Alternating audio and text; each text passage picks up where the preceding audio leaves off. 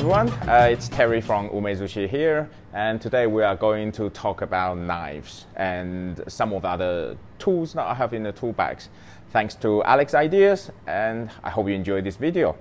So, the plan is we'll go through everything in my tool bag. We'll look at a selection of knives that I have and other tools that's very useful in a sushi kitchen, Japanese kitchen in general. Then we will look at how to choose a knife, sharpening, maintenance. So to begin with, I'll start with the Deba. Pretty much the entry-level Japanese knife. It's great for chopping. It's got really thick spine. The starting knife for anyone in a Japanese kitchen.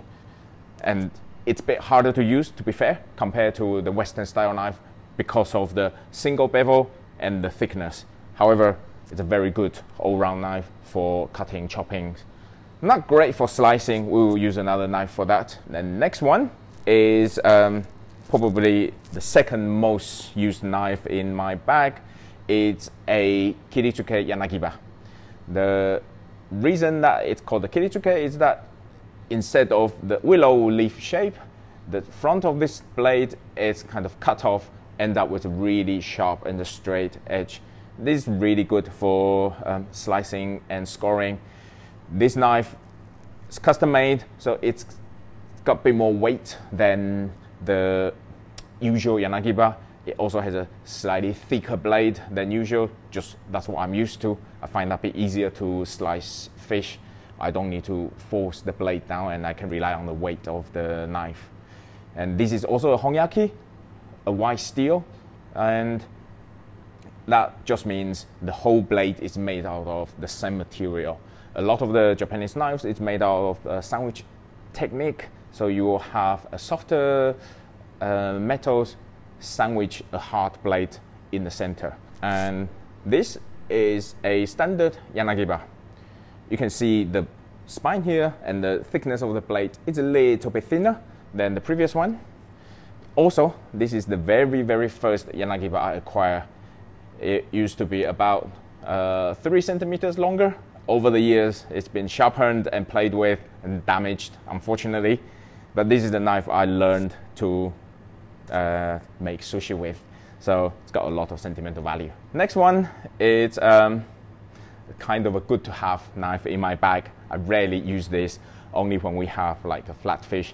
This is specialized for uh, fugu or just doing very, very thin slices. And you can see the blade, this compared to the other two, they are much, it's much thinner blade. And again, this is also a blue steel. Uh, remember this was the one of the souvenir I went to Japan when I was doing my research trip. I got that in the, I got it from the shop in the um, fish market in Tokyo. So those like, like the basic, basic knives. You just need those two, two types of knife, a Deba and a Yanagiba. That would get you through most of the prep work in a sushi kitchen. But there are a few other things which is nice to have. Next one is a usuba. That is for vegetable. You can see that it has a very, very flat, very flat edge on the side.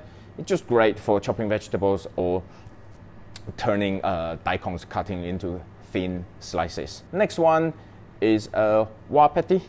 It's just a small utility knife. Really rarely use this, only when I'm doing like more delicate uh, dessert or fruit or um, doing small amount of prep. I'll use this knife. It doesn't have too much use. I just thought it would be a good idea, but uh, rarely use this. That is a gyuto or a Western style chef knife instead of like a single bevel, it has a double bevel, so the edge sort of reduced down to the edge evenly from either side. And this is made out of um, a material called Damascus. You can see the pattern there. It's a sandwich of two materials and continuously folded during the forging process. Also, the knife smith or the swordsmith making this knife is quite famous in Japan. He's called Saji-san, and it's quite old now. He doesn't produce many knives, but this is one of these. Next one you have is a, a shellfish knife or just an oyster knife. This one is the one I found most easy to use. It's got a pretty sharp edge and it really go through the shell uh, fast and swift. And it actually, the sharper the, the blade, actually reduce the chance of blade sliding from the shell and cutting myself. So yeah, I like this one. So that's kind of all the blade and knife stuff finished. We'll go on to another useful tools in a sushi kitchen and it's called the uh, moribashi. That it's just a um, metal chopsticks, usually made out of some fancy materials like uh, you got some ox horns and some hardwood at the end. A lot of this is sort of more artistic work than, than useful, but it looks nice. That, just a pin bone tweezer, nice and easy, always need to have one. When we fillet the fish, uh, we normally leave the pin bone inside and then take it out slowly afterwards. This is a uh, unagi spike. So you've probably seen it on videos and it's just to pin the fish down along the chopping board and we can then do the filleting uh, leveraging the, the, the spike here on the chopping board. Next time we'll do a videos on unagi prep so you'll see how that's used. This is actually a grout brush. However, I find it very, very useful when uh, cleaning out the bloodlines in the fish when I'm doing the filleting. So it, I will have one, always have one in my bag. That is a scaler made out of copper. It's actually quite sharp, even though it's got a, like a square tooth. And this just helps to take the scale off the fish. Very useful, and that we got from Japan. But really, you can ha have a lot of alternatives. I've seen some new ones come out as just silicon rubber type of thing, and that seems like a good idea. It doesn't damage the fish, it doesn't damage the skin, so I might give that a try at some point. Or we could do a review of different scalers. Next tools we use a lot is um, grater. This is a special wasabi grater made out of copper, and each of these teeth on there is um, hammered by the knife smith one by one. They're really fast, but it's a lot of work to produce this. And just some bamboo brush. After you grate the wasabi, you can just use that to brush it off. That's something a bit more unusual, but this is a um, ikijime wire. So when you have a fish that comes in live and fresh, put it in the ice water with a bit of clove oil and the sake to dissolve it, to calm the fish down, relax them, and perform the ikijime using this. Of course, we actually have another ikijime tools that we use in the kitchen, that is the water jet. And when we have time, I'll introduce how that helps to keep our fish clean and fresh. Last one, that is just a maki mat. So that just helps you to make maki. That's everything in uh, the tool bag.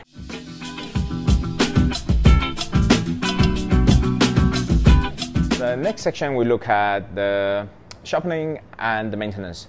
We'll have a separate videos on the sharpening of the knives, so I won't talk too much about it. Really, if you have a stainless steel knife, there's very little you need to do to maintain the knife apart from sharpening. The important things are just keeping your knife dry and clean. You don't want anything, any food left over on the knife, and make sure the knife is dried after use straight away. The even though it's stainless steel, they do still rust if there's a, a substantial amount of moisture or water in contact with the blade for a long time, or for example, you might have cut up some acidic food, then those acid will corrode the knife. Also, a lot of the knives has a wooden handle, so moisture is really bad for wood. It expands, it contracts, and it rots, or it might get moldy. So moisture is one big enemy to knife. Then the next bit of maintaining your knife is how you cut it. There are different um, purpose to different knives. They are designed for different things. And usually you can tell by the angle or the thickness of the blade. Usually the thicker the blade, the more um, force you can put into it. For example, Deba we talked about before, it's got like half a centimeters on the material. So this one, you can use it to cut through bones. You can use it to chop. But for example, if you have a like a gyuto like this, the, the blade is only about uh, 1.2, 1.5 milliliters at the at the back. This really is designed for slicing and chopping uh, soft to medium hard materials. You don't want to use that to cut through bones, fish bones, or anything harder than that. Vegetables, it's okay. Uh, again, you might want to think twice if you want to use this on the coconut or like a durian, this kind of hard fruit. Once you've used the appropriate knife for the appropriate purpose, you can then look at how you normally use your knife. I try to chop or cut as silently as possible. That just means my knife has minimal impact to the chopping board. So reduce the noise usually means you are cutting more gently and also becoming more refined. It also helps you to maintain the edge of the, the, the blade. So if you're fortunate enough to have some carbon steel or yeah, carbon steel knife, then you need to spend a bit more care on your knives. After each use, you don't just need to wash it, you need to dry it. After drying it, you want to put some oil over it. The best ones, clearly, um, mineral oil. It has no impurities and they would keep your knife really protected. If it's a knife that you use daily and you cannot be bothered to get mineral oil, little bit of clean, just tiny amount of the clean vegetable oil would do because you are using it every day. But you definitely don't want to use uh, vegetable oil on a knife that you are going to put away and store for a long time.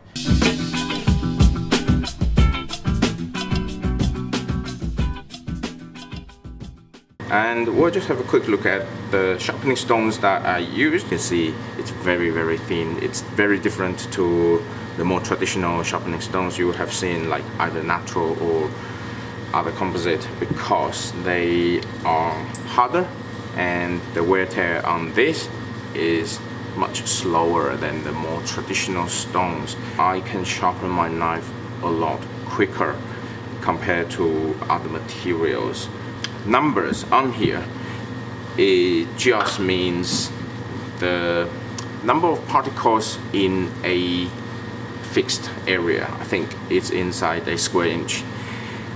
Then you have 1,000, 3,000, 8,000, 16,000.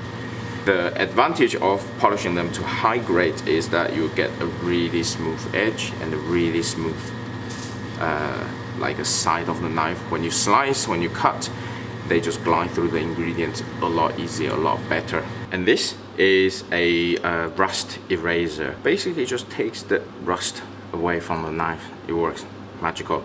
And normally, the order we do things will be start from the rust eraser and then work my way up on the wet.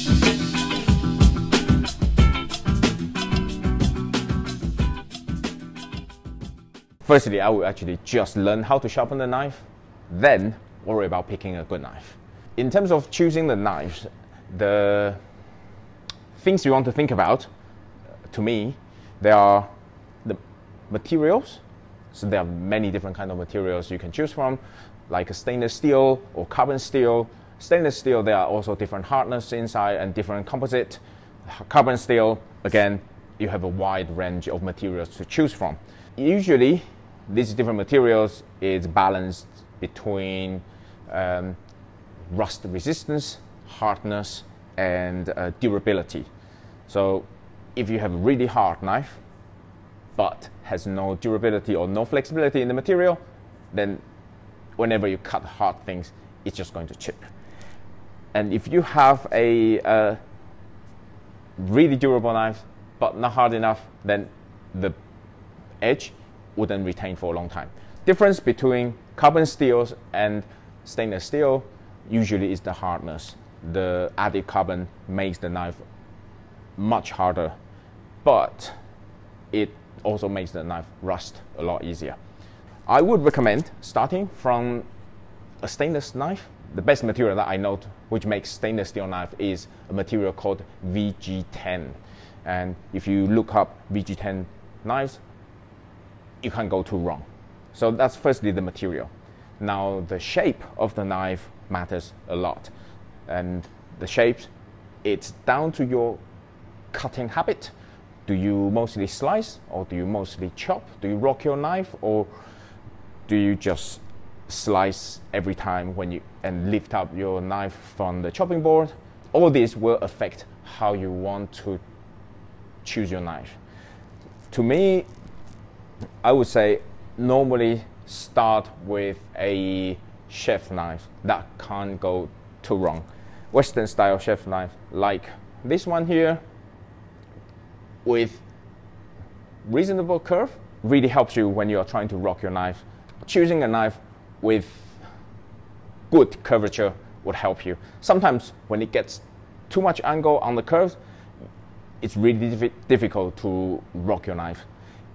And if it doesn't have enough angle, then you feel like it doesn't cut as well. You will find a lot of like uncut bits right at the bottom. After all that, you've fixed your material, you've decided on the shape, rough shape of the knife, it's best to actually hold it. Different knives has different thickness on the handle. And if it's a knife you're going to use regularly, this handle really matters. So depending on the size of your hand, um, the size of the handle would really make it uh, a very different experience. So I have reasonably big hand, so I find a thick handle really good and feels much better to use. It also feels more secure. But if you have a small hand, a big handle, you might find it difficult to control the knife, a bit harder. So these are the few things I would consider when I choose a knife.